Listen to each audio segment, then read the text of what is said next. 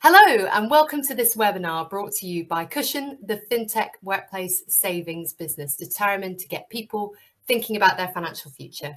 I'm Iona Bain, and I'm best known for being the founder of Young Money Blog. And I've gone on to become a kind of go to voice on young people's finances in the UK.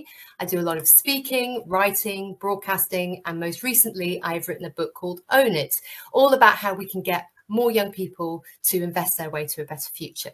And I have a particular interest in what I like to call big money. That is all the financial products that make the biggest difference to people's lives and in society, and how we can get more young people informed and enthused about these products. So it's great to see Cushon uh, publishing uh, very recently an in-depth and fascinating white paper on these very issues called Pensions to be Proud of. Uh, and I just want to give you all an overview of what this research shows. Uh, it's not necessarily uh, going to surprise you to hear that younger people find pensions very complex, full of jargon. Uh, people don't really understand how tax relief works, which is a worry considering what a big incentive this is for people who do understand it. Uh, one piece of good news that came out of the white paper is that there is a broad understanding of the value of employer contributions, uh, but overall, young people really lack basic knowledge, not only of how pensions work, but when they should start saving and how much they should put in. And one of the figures that really surprised me from the white paper was that a third of young people don't think pensions are necessary at all. They don't they don't understand why they need a pension. So I think that gives you an idea of the kind of challenges that we're up against. And who better to discuss those challenges than Baroness Ros Altmann, who is probably the most respected authority on pensions in the UK. Her many achievements include serving as pensions minister under David Cameron, being a government business champion for older workers, being awarded the CBE in 2014, and being an all round friend to consumers on all things personal finance. And Ros also recently became an advisor to Cushon. So she has a lot to say on the subject of how we can engage younger savers, as do I. Uh, so, Ros, uh, let's kick off by just asking ourselves how come young people are so apathetic and ignorant when it comes to pensions. Um, what do you think are the main challenges there in terms of getting young people to care about pensions?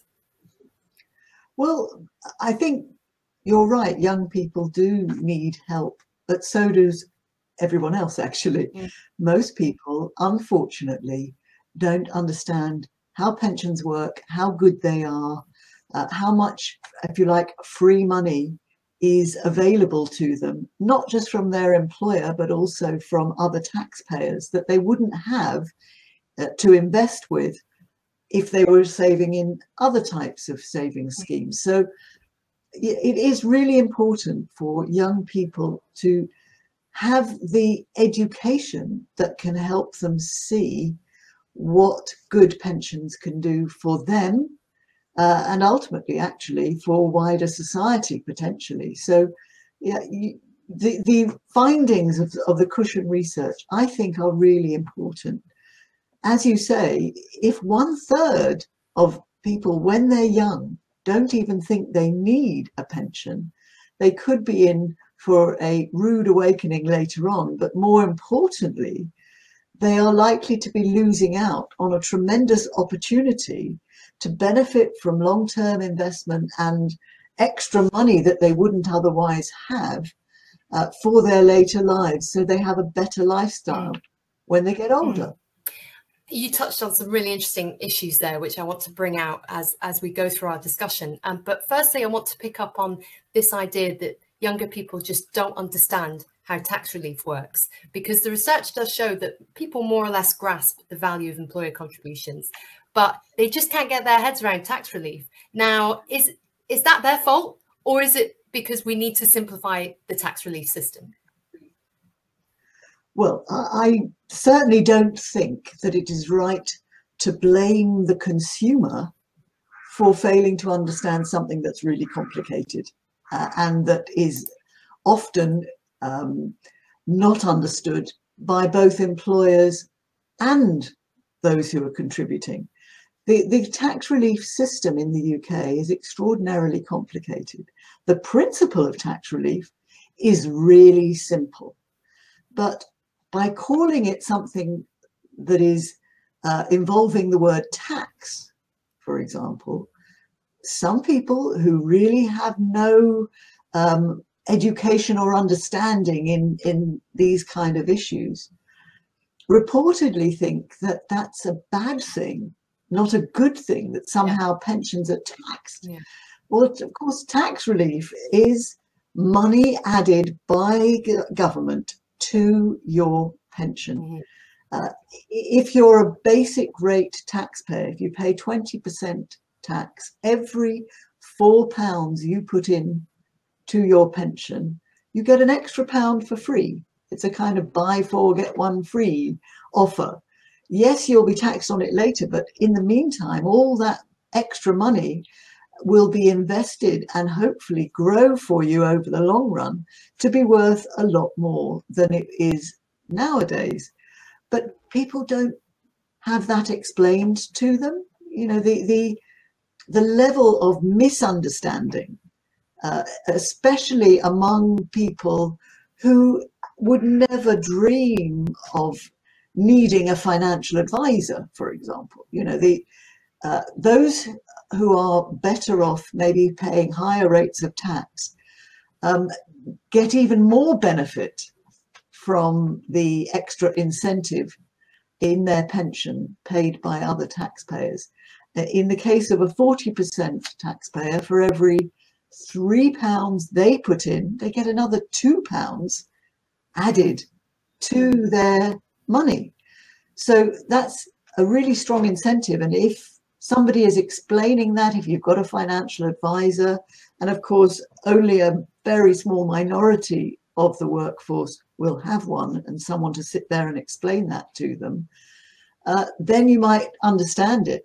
But what we need is for everybody to see that you don't just get extra money from your employer, you should get extra money from the uh, rest of taxpayers uh, in into your pension. And even if you're not a taxpayer, you still get extra money uh, worth one pound for every four pounds of yours into your pension. That there there are exceptions to that, and that's part of the reason why it's so difficult to help people understand it because there are complexities that are really unhelpful um, and also, you know, for the lowest earners, there there are problems uh, in this area. But for the vast majority of of people, tax relief is something that we could rename and help people understand better, and also identify it separately. When you get your pension statement, you don't tend to see how much extra money has gone into your pension from other taxpayers. You mm. see an overall mm-hmm. figure. It's the same with employer contributions. You don't always see how much extra the employer puts in for you.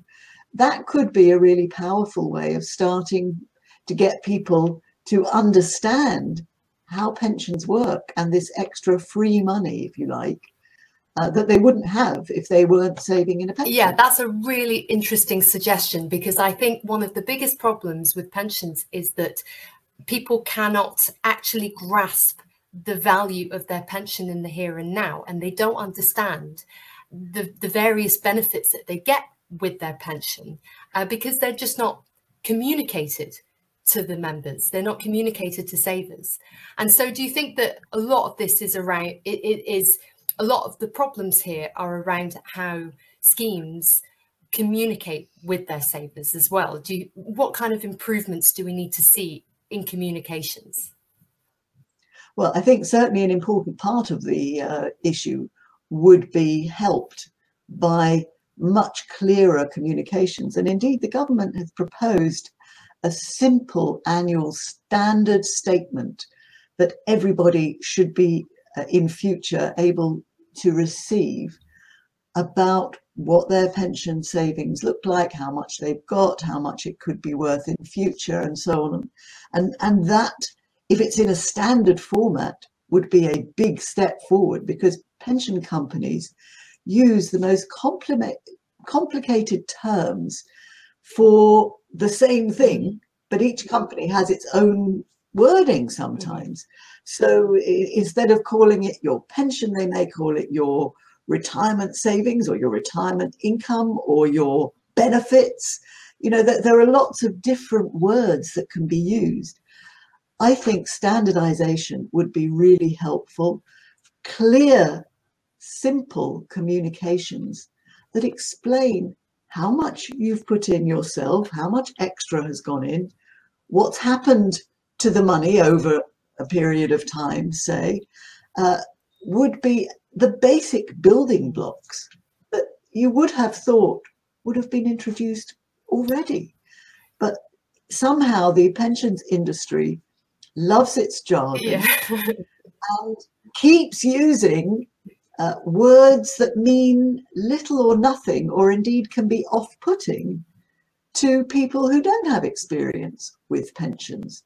So it is really important, I think, for communication to be clearer. But what would certainly help the industry in this regard is if the government were to realize that we need to simplify the rules as mm, well. Mm. Yes, because in a way we've we've got this double whammy of a complex system where people have to get their heads around their annual allowance, tax rate, qualifying earnings, not to mention the lifetime allowance and the difference yeah. between tax relief paid at source or through a net pay arrangement.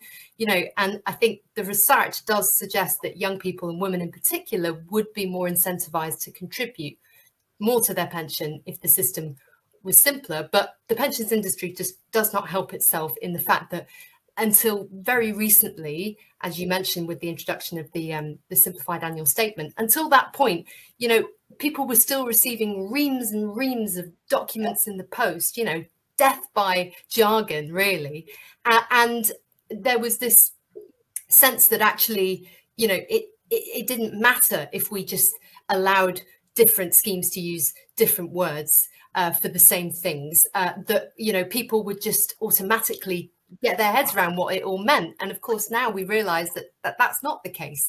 And I think this brings us on to education, whereby we just simply do not have young people leaving school understanding even what a pension is. And I think about a quarter of young people report having had no education on pensions and savings uh, by the time they, they leave school.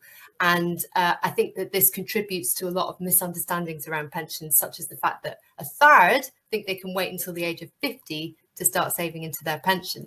So, I mean, Ros, I'm interested. It is really absolutely. And I'm just interested, Ros, to kind of get your thoughts on, you know, whether financial education can really help in this area. You know, obviously, that's not to say that we can't have a greater simplification of the system and that we can't, you know, encourage the industry to be much more straightforward in how it talks to savers.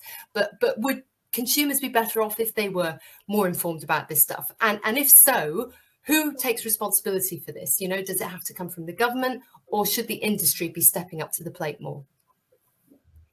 I absolutely believe that consumers would be better off uh, if they did understand better how pensions work because pensions are actually a brilliant product. They uh, are helpful to you both in the short run because you have more money growing for you and also in the long run because you'll have more money to live on in later life. The problem we have is that if you want, and indeed we need to educate people about pensions, we have got to use language that is something they can relate to. Mm. Sticking with the jargon is not going to work.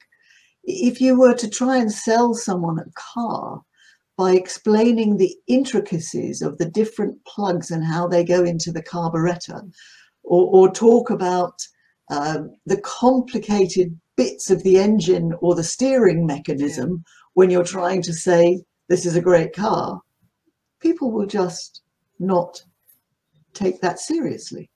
Yet somehow, when it comes to pensions, those people in the industry have never understood how to sell or market or explain to an ordinary consumer who is not a pensions expert.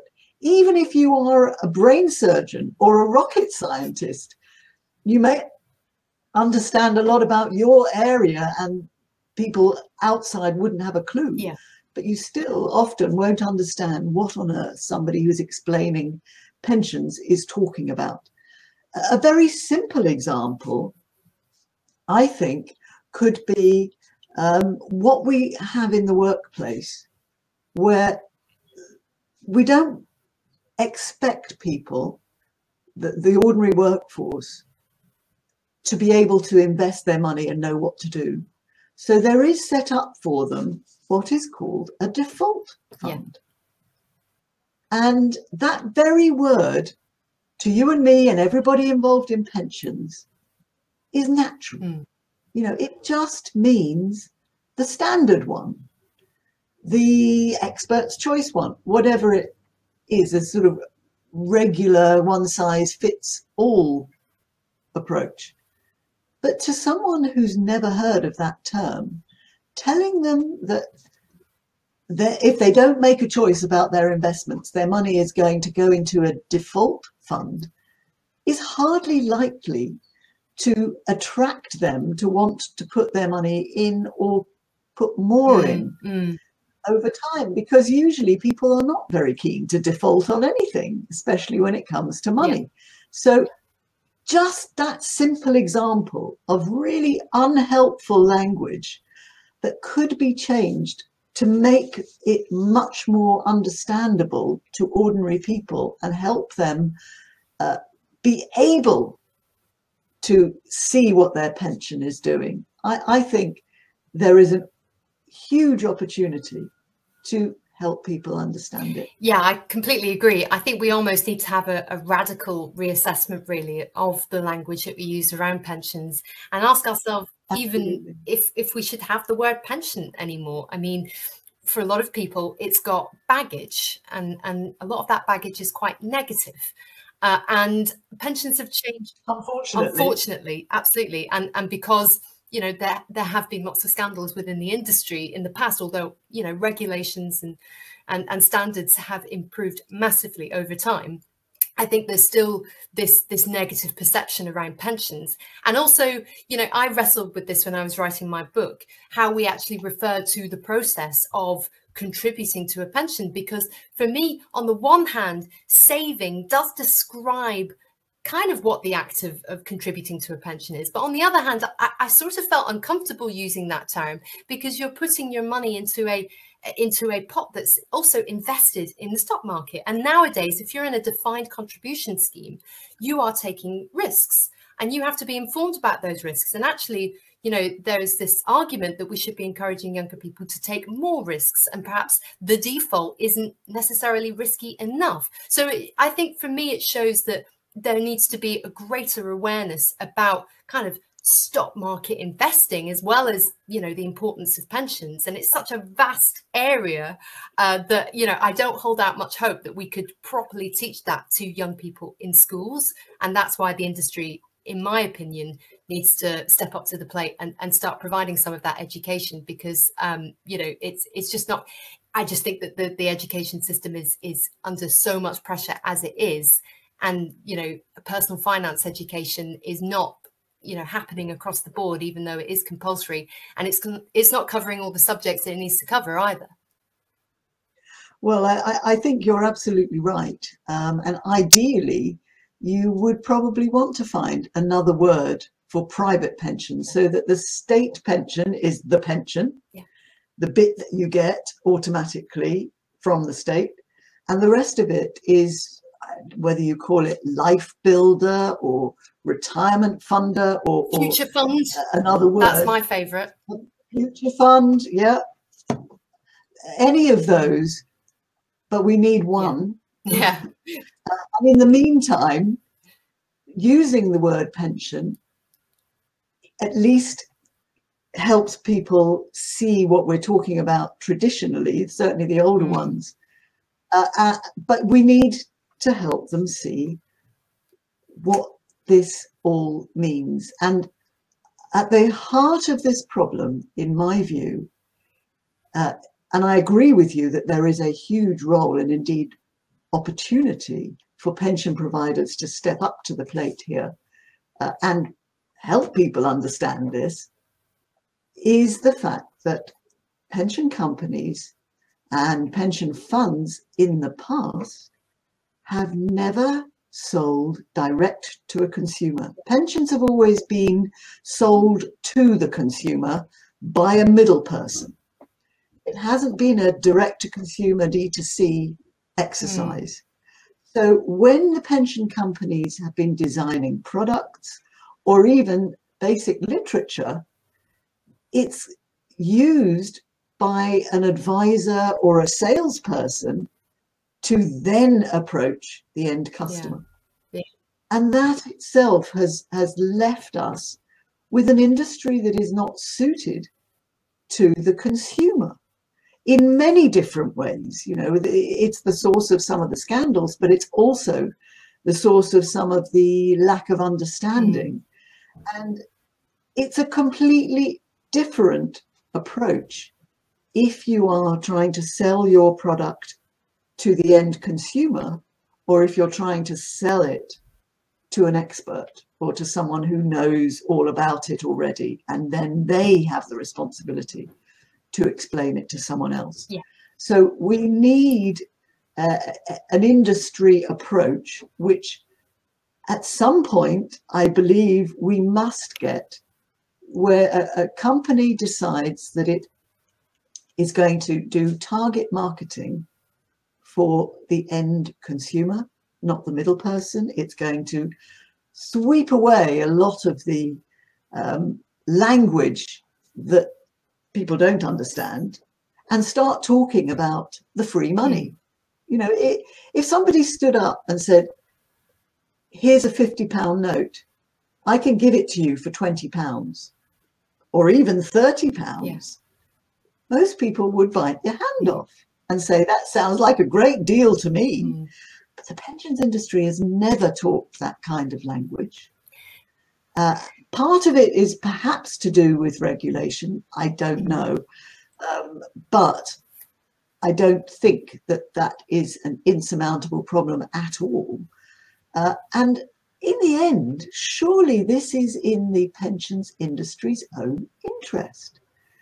Because if people understood how brilliant pensions were and how much free money they could have building up for them in later life, they're much more likely to put more money in. Whereas what the industry still keeps saying is, yeah, auto enrollment is great. Yes, you've given us uh, 10 million more people saving in a pension and we've got billions of pounds from mm. it. Yeah, that's great. But you know, it's not enough. You've got to go back to people and force them to put more in. You've got to increase the contribution yeah. levels because we want more money. Now, most consumer goods would not dream of saying to the government, could you please hand us some more customers on a plate? could you please hand us uh, some more? You know, we, we, we're not going to market to them. Uh, we just sit here and wait for you to bring more because we all know that people should do more. It's time for the industry to say, great, auto enrollment is a fantastic start. We know how much people can benefit from putting more in. And we're going to reach out and tell them that and tell them why and incentivize and encourage them mm. to want to put more in. Yeah. That hasn't happened yet, but I hope it no, will. I, I, completely agree with you. And I think there needs to be a consensus within the industry that that's the right approach to take because at the moment there's a very clear divide. And we actually saw this in the last webinar that we did with Cushon. In the comments section, uh, there is there is still a very strong contingent within the pensions world that believes engagement is pointless. People don't want to be thinking about retirement, which could happen many decades from now. Um, and really, there's no way of getting more people interested in pensions. It's, it, it is what it is. It's it's dry, it's boring, but it's necessary. It's just a fact of life. And the best way that we can get people to just make sure that they have saved enough for retirement is to, for instance, have auto escalation, i.e., have uh, pension contributions automatically going up as you go through your career and your earnings rise. So we just don't have that consensus yet that actually, no, people need to, to understand this product and how it works. And you can't just have people blindly contributing more to it without grasping what it is. Uh, listen, I, I think you're right.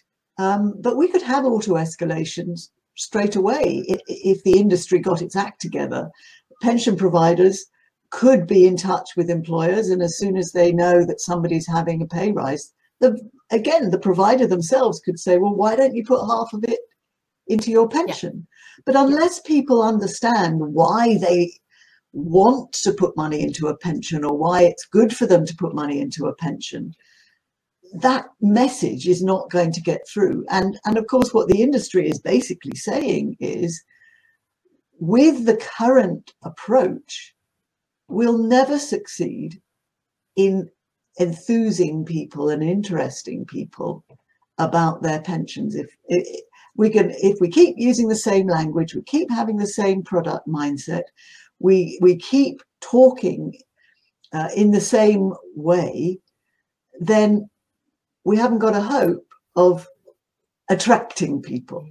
Yes i agree with that but i would have hoped that there would be uh, one or two or more disruptors in the industry who would come in and take a different approach of actually making pensions much more consumer friendly, um, helping people understand maybe prizes or lotteries attached to it in the way that ordinary consumer goods are of, often need to be sold. Certainly at the beginning, you, you, you need to incentivize people to get in there. Once they're in, and I, I agree, using a behavioral nudge is really important and has been hugely successful beyond anything anyone ever thought mm. of. Uh, then you've also got the opportunity to sell them more. Mm. Yeah, yeah, and I think uh, that that reminds me of some research that I saw not that long ago, which kind of looked at what incentivizes people the most when it comes to saving more, and it found that you know coming back to what we were saying about tax relief, taxes is quite an abstract concept for most consumers, but if they feel like they're getting a bonus, you know, in the here and now, that is is a real uh, it's a real motivator for, for consumers to save more. They feel like that they're getting a reward for doing the right thing. And this is this is what saving into a pension is. It's, it is doing the right thing for you. And it could also be about doing the right thing for society as a whole. So i wanted to get your thoughts on this idea that actually the key to engaging younger people is to talk about how their pension is invested and whether or not it is helping to tackle climate change, whether it's helping to solve social problems, and so on. Do you think that's really the key to getting young people interested in what could otherwise be, you know, as I said before, quite a dry and boring area? I certainly think it's it's one of the key issues, and that's why I am so uh, happy to be advising Cushon because I think what they are picking up on is the opportunity to help people see how much good their pension investments can do now and during the time when they're waiting for their retirement. And particularly the young have a much longer time horizon over which their money could be doing good for society, for the planet, as well as for their own future. So if you get people thinking about what their pension is actually investing in and that it's not doing harm to the planet, but is actually helping the planet mm-hmm. or doing social good, for example, investing in alternative sources of energy, for example, investing in social housing, in infrastructure that can build better roads and and get people um, communicating in a more user-friendly way or investing in research companies and life sciences that will develop tremendous medical advances. All of that is a, a long-term investment opportunity but people don't even know what their pension money is doing. Nobody tells them. Again their pension provider could be picking up on uh, one or two of the really exciting investments that are being made with their money and get them proud of it, get them starting to talk to their friends. I mean, yeah, this is what my pension money's doing. What about yours? Yeah, yeah, absolutely. And I think this is one area where actually the pensions industry and the government are pretty much in agreement that, that this is the way to go. Uh, it's just a question of, of how fast the timetable is. So, you know, uh, the, the white paper from Cushon has called on uh, providers to commit to net zero sooner and for the government to play its part in, in putting pressure on providers to meet that goal sooner as well. So do you think that the industry is being ambitious enough at the moment?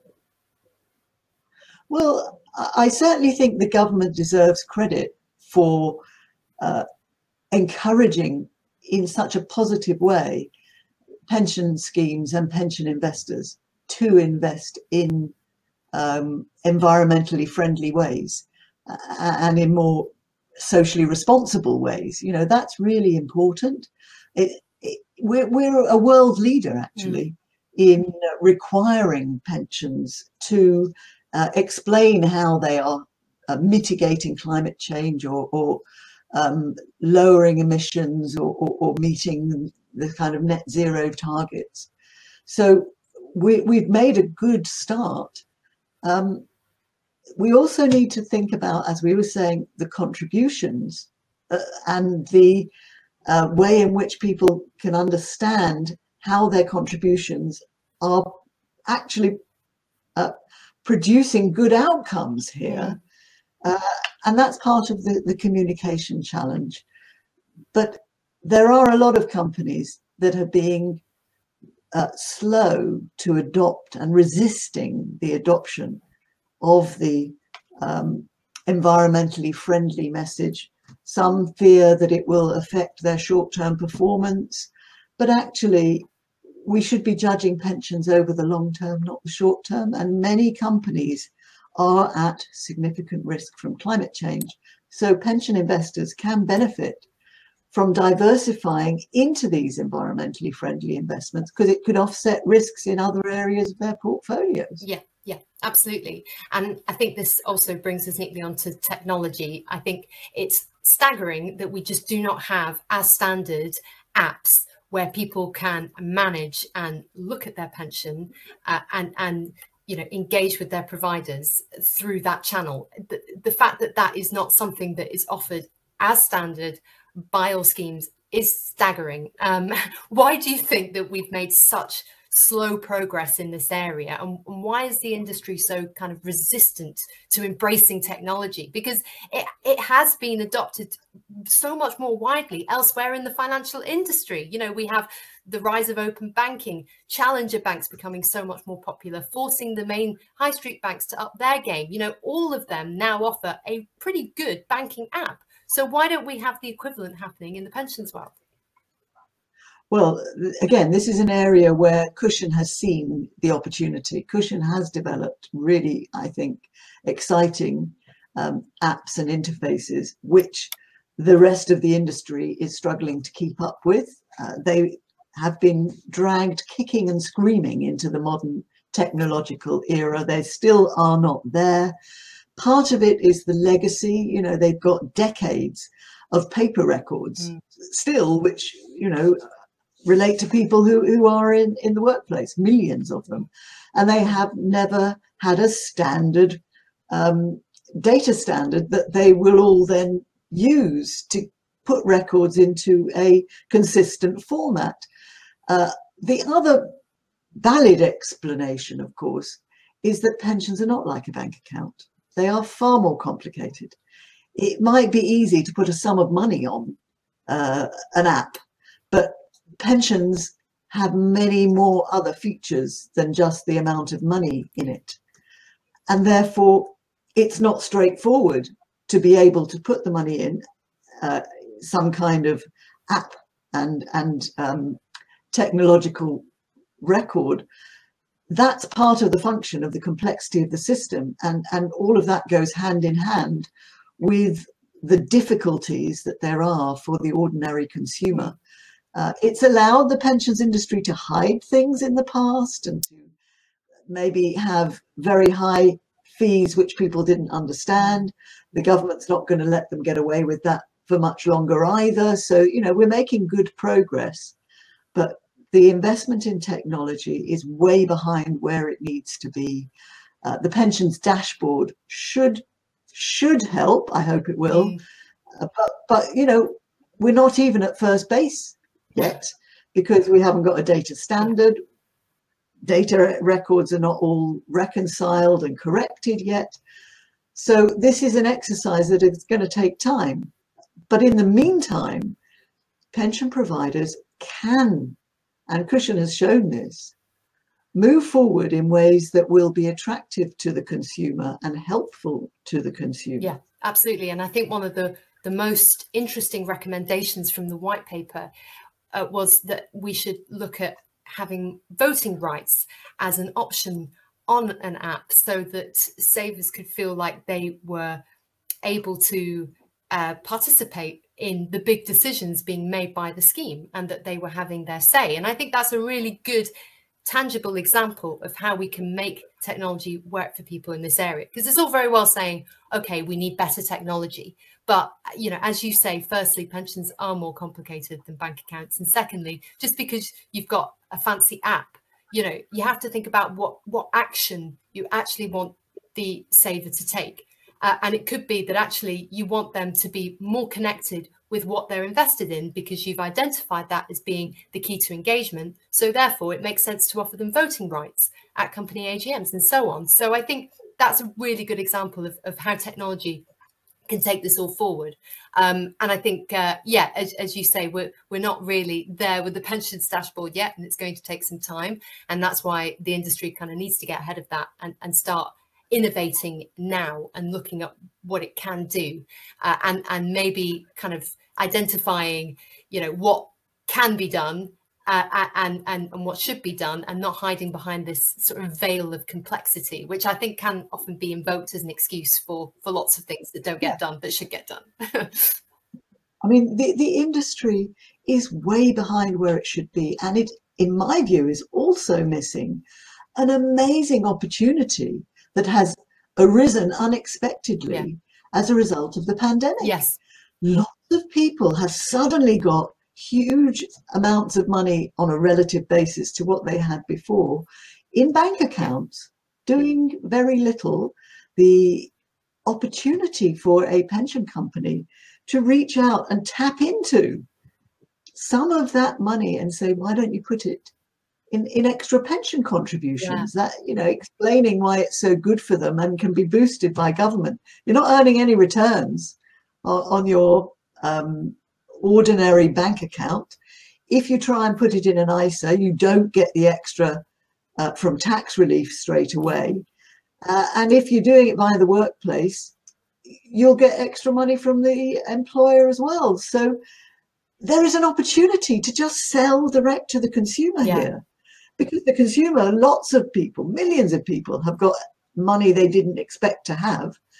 Uh, and rather than just go out and, and spend it straight away, if, you, if they thought it could do some good, and a lot of us after the pandemic perhaps have a, a, a higher social conscience than we might have had before and want to be sure that we're doing good things and, and investing in ways that will boost the economy as well as help um, protect the planet, all of those things are an opportunity for the industry. Yeah. Yeah, absolutely. That's such a good point, Ros. I think perhaps we need to have a campaign encouraging people to put their lockdown savings to good use in a pension that will help themselves and the environment and society. But there is a very limited window in which to do that because people will go out and spend that money at some Exactly. Um, I just want to ask you about a couple of things before we wrap up. Um, you know, we talked about the fortunate people who've been able to save more and, and could put that money towards their pension. Let's talk about people on the opposite end of the spectrum who are lower earners, who may not have any money in easy access savings and may also be caught out by the net pay anomaly. Um, you know, what do you think about the recommendation that the Cushon has made to have a kind of auto enrollment for savings at work? And, and also, you know, when are we going to sort out this net pay problem? Well, I absolutely think that it is vital for the government to sort out the net pay issue as soon as possible. It was a manifesto commitment. We've had a call for evidence.